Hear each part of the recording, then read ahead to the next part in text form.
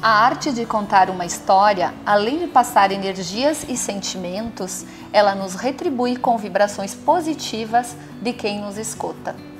Essa frase é do nosso convidado, Rodrigo Costa, que também é palestrante, né, Rodrigo? Tem uma palestra que se chama um Reolhar a Vida, que você faz nas escolas. Conta para nós um pouquinho sobre as tuas palestras. Isso, essa frase é, é muito bacana porque essas minhas palestras, por olhar a vida, o que, que acontece? Ah, eu comecei a, a, a, pensar comigo mesmo, olha, eu posso contar minha história de vida para os jovens. Eu comecei num projeto lá nas escolas de Veranópolis, né, para os nonos anos, primeiros, segundos e terceiros anos, né, para passar uma, uma, mensagem diferente, né. E depois foi expandido para empresas, clubes, ah, entidades, assim, foi bem bacana. Só que é um engrandecimento muito grande. Essa frase remete muito a isso, né? Porque como não é algo técnico, é uma história de vida, é com a minha emoção. Isso aí. É, é, com o teu sentimento. O sentimento tu cativa mais a atenção das pessoas. E, e tu ter o carinho, tu ter... Ah, ontem mesmo eu tive uma palestra lá na empresa Olha o Plano de Veranópolis e depois da palestra tu ter um carinho das pessoas virem lá e falar assim ah, muito bacana a tua palestra, eu vou começar a pensar a vida de uma forma diferente, eu vou valorizar mais. Porque tu é um cara, pessoas... tu é um cara, tem um alto astral muito bacana e tu escutar isso. É, isso aí. É, é, vem a ti, é, é, é, um incentivo. E as, as pessoas falo, às vezes reclamam por problemas bem, bem banais, né? Banais. banais. Sim. Então, assim, gente, é bem importante ouvir. Isso, isso que ele está dizendo, é bom comprovar a gente que está aqui junto com ele. Uhum. Essa energia, essa, desculpa, essa, essa, esse brilho no olhar é verídico. Contagiante. Quando ele fala, exato, é contagiante. Tu sente a energia dele, a vibração dele aqui. É lindo isso. Que é como ele disse. Olha, eu falo e me arrepio, né? É uhum. É, como, é como ele disse. Ele uh, no acidente, ele renasceu um novo ser.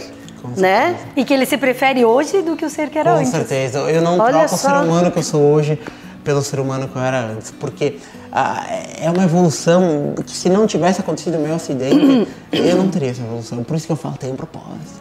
Por mais doloroso que tenha sido o meu acidente. E você um foi em busca para saber qual era o propósito. Com certeza. E o isso propósito aí. meu da minha vida é passar algo positivo para as pessoas. E não, verdade... e que legal isso, desculpa, Veri, que legal é. isso, tipo, de tu deixar bem claro.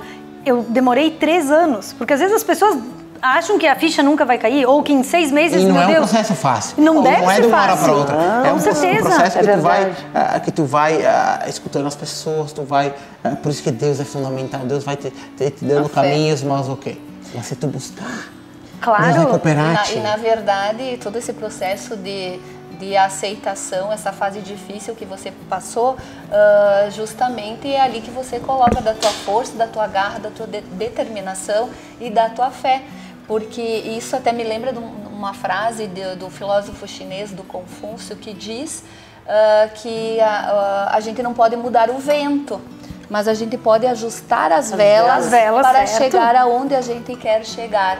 Então foi exatamente isso Perfeito. que você fez, né, Rodrigo? Uh, teve todo esse processo de não, não se aceitar, que lógico não é fácil, não deve Mas de uma ser certa maneira, É bom porque hoje eu olho para trás, tudo que eu superei, tudo que eu passei, sabendo que depois de um acidente não tinha perspectiva nenhuma de vida. Eu pensei que ia ficar como um coitadinho numa cama, tu começa a, a, a se lembrar de, e, e, se lembrar com, com uma certa motivação. Fala, Pô, olha tanta coisa que eu superei.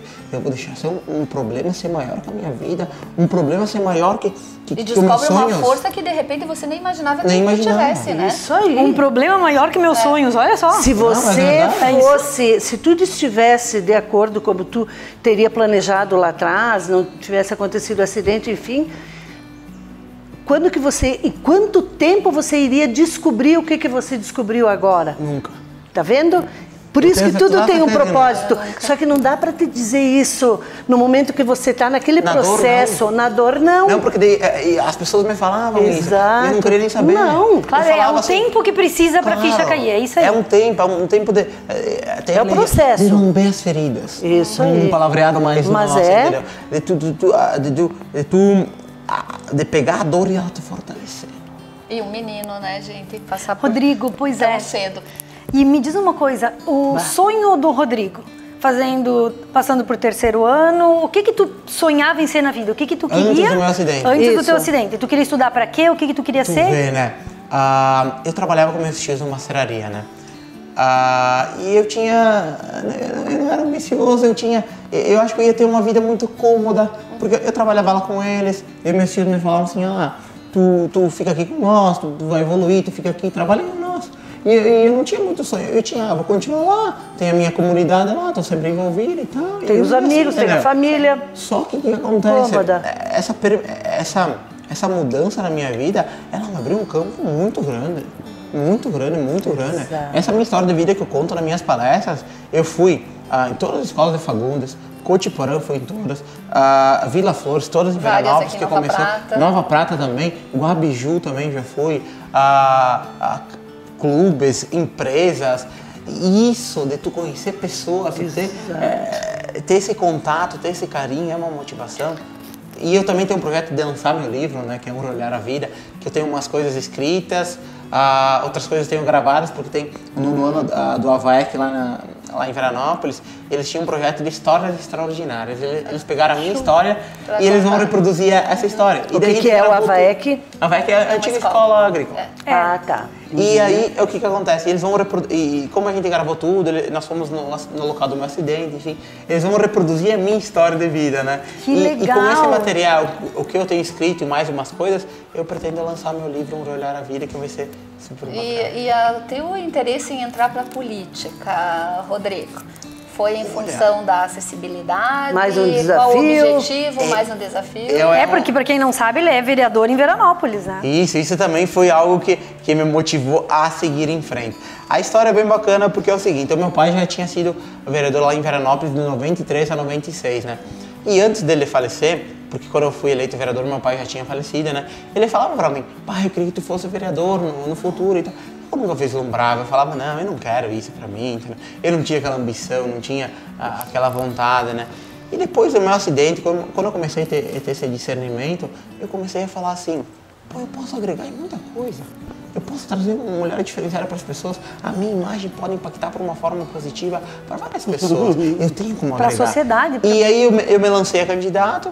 Ah, no dia 2 de outubro de 2016 eu, eu fui eleito, depois em 1 de janeiro de 2017 eu assumi e quebrei vários paradigmas. O vereador mais jovem da história de Veranópolis, eu fui eleito com 19 anos. Olha só. Ah, ah, o primeiro cadeirante da história de Veranópolis, ah, o, cadeirante, ah, e, o cadeirante e o mais jovem da história do Rio Grande do Sul, o vereador. Do Brasil ah, teve um mais jovem, né? Não tem um Mas- concurso não de o mais bonito cadeirante. Mais carismático. Ah, o- se tiver, a gente tenta concorrer. Isso, isso, isso. Com certeza. A gente vai na torcida. E, esses, e esses, esses paradigmas, essas coisas aí, foram uma motivação para mim, né? E depois que eu fui eleito, eu fui me envolvendo, eu fui, eu fui me motivando também. Eu sempre falo assim, são pequenas conquistas que me, que me faziam provar para mim mesmo e que me falavam assim, todo o meu esforço tá valendo a pena. Tudo tá valendo a pena. Tá Tudo valendo a vale a pena. pena. Porque eu tô evoluindo. Pô, e é- hoje é, interessante, é sensacional. Ah, Rodrigo, como você vê essa história da acessibilidade? Ah, a gente já vê que muitas cidades se organizaram, né? Estabelecimentos comerciais, enfim, ah, o, o cadeirante tem mais acesso hoje em dia, né, do que Sim. antigamente. Mas você vê assim que tem ainda muita coisa para melhorar. Você tem projetos, né? Sim. Inclusive dentro desse, desse tema. Eu tenho, eu tenho várias propostas lá em Veranópolis, né? Ah, proposta interior, enfim, várias coisas. Enfim. Eu, como moro no interior, também tenho essas propostas. Mas a acessibilidade, a inclusão social são bandeiras que eu levo comigo, né? Que, é, que é o natural que eu vou br- brigar por isso. sentir né? na pele, E o que que acontece? Até ontem, às seis e meia, lá na Câmara de Vereadores de Veranópolis, ah, eu promovi uma audiência pública da acessibilidade, né? No qual eu peguei vários cadeirantes, alguns idosos, algumas pessoas que têm limitação física, porque tu fala em acessibilidade, as pessoas pensam, Só é cadeirante. É cadeirante, Mas não é só idosos. Aí tu isso. pega Veranópolis. É. Veranópolis é, é considerada a cidade amiga do idoso. O idoso, muitas vezes, Da te longevidade. remete, te remete à limitação física. Exatamente. Então, beneficia Não é idoso, o cadeirante, uma pessoa que tem uma, uma limitação física por um tempo determinado. Uhum. Ah, quebrou uma perna, alguma coisa.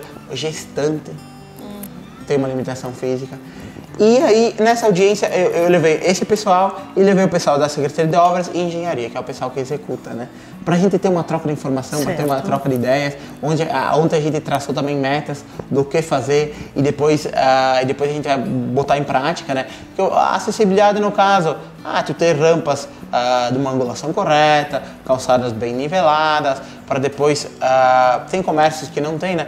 O meu objetivo na acessibilidade é o quê? É tu preparar ambiente externo das calçadas, deixar calçadas boas, rampas bem niveladas, como eu falei, com a angulação correta, para depois tu chegar no dono da sala comercial que não tem o seu ambiente acessível e tu chegar assim para ele e falar assim: Olha, eu preparei todo o ambiente externo para dar possibilidade para todas as pessoas chegarem ao estabelecimento. Mas teria que ter também mais uh, espaços uh, nas ruas também, né? Para estacionamento, né? No teu caso, você é, dirige, né? É lá... Uh, tem autonomia para dirigir. Tem que ter as tal, vagas, né? Mas tem que, teria que ter mais vagas. Mas né? lá em Veranópolis tem, tem uma tem mudança. Bastante... Muitas pessoas me já me falaram, ó, ninguém mexeu tanto com acessibilidade, ninguém mexeu tanto com vagas, ninguém mexeu tanto com inclusão social, porque eu também tenho uns, uns projetos de inclusão Sim. social. E eu seis vagas foram criadas que eu pedi. Porque é conforme lei, tantas vagas, agora não me recordo o número, tantas vagas tem que ter uma vaga para deficientes. E essa vaga para deficientes não é só o cadeirante uma pessoa que tem uma limitação física, uh, uma gestante que ela tem um, um, tempo, um tempo determinado da gestação, ela tem uma limitação física. Se for na prefeitura a, a, a, comprovando isso, a, a nossa secretária do, do trânsito, ela é obrigada a a, a carteirinha para poder estacionar. Certo. Entendeu? É, é um, um, leque bem grande e foram criadas seis vagas. Claro que tu ouve muitas das pessoas que não precisam, né? Uhum. Ah, tu é vereador só para fazer vaga. Só que se tu passa pela realidade, tu conhece pessoas que passam pela realidade, tu sabe o quão importante é tu ter uma vaga lá e não precisar ir em um lugar bem distante e, e, e não ter. Uh... É que Com certeza, e às vezes é, as pessoas não, não, não se voltam, não voltam o olhar para esses problemas porque não sentem na pele, né? Essas claro. pessoas se tornam praticamente invisíveis para Sim. a própria sociedade, para os poderes públicos. Né? Até porque tem pessoas que enxergam a vaga do cadeirante e, e mesmo assim ocupam. É, mesmo não assim, tem um bom mas senso. É que isso é, não tem um bom senso. Elas são, aí é um problema de deficiência. Né? Limitação. Né? É limitação, é, eu, tenho, é, eu tenho um trabalho também de uma campanha Limitado, de conscientização é. para cadeirantes, que é, que é a nossa Avenida Júlio de Castilhos, eu vou pegar uma quadra dela, nós vamos pegar tudo, tirar todos os carros, Cada estacionamento a gente vai colocar um cone e uma cadeira de rodas. E atrás da cadeira de rodas uma placa, ah, só um minutinho, já volto. Que é a desculpa das pessoas que estacionam na vaga. E a gente vai pegar, fazer isso, claro, com a ajuda da brigada militar, e o pessoal vai passar na avenida. Isso aí. Um, o pessoal vai passar, não vai poder estacionar e vai começar a olhar tudo ué, cadeira, com as, ué, com as plaquinhas, isso. só cinco Chamar minutinhos, para dar uma conscientizada, né? Até por bah, bem legal, é, ótimo. Tomara que dê, que dê certo. Claro que infelizmente, infelizmente as pessoas só se conscientizam quando dói no bolso, é infelizmente. Uhum. Mas tomara que dê uma impactada também. Dá, tudo dá. Eu acho que Até dá. porque é um, é um, direito de todos, é um direito Imagina. que está na Constituição, né? Com certeza. Não, e outra, até porque, como o Rodrigo é, só voltando um pouquinho, uh, o Rodrigo, ele é motorista, né? Ele veio sozinho de Veranópolis, esse treinamento todo que você teve, né? Ele executa e eu gostaria que tu dissesse, Rodrigo, para as pessoas que não sabem como é que é uma vida de cadeirante, o que que você faz sozinho? Você vai no banho, você se muda, você isso, você aquilo. A tua casa tem as, as portas adaptadas. É, conta para é nós o que é que um você faz. Dia a dia, né? O teu dia a dia isso. e o, o, tão especial que é a tua cadeira, né? Porque a gente já sabe que ela é uma cadeira diferenciada. Turbinada. Né? Turbinada. 16 válvulas. Você vai falar no próximo bloco. Vai como ela desmancha prazer, né? Agora a gente vai dar uma paradinha para os comerciais e a gente volta em seguida.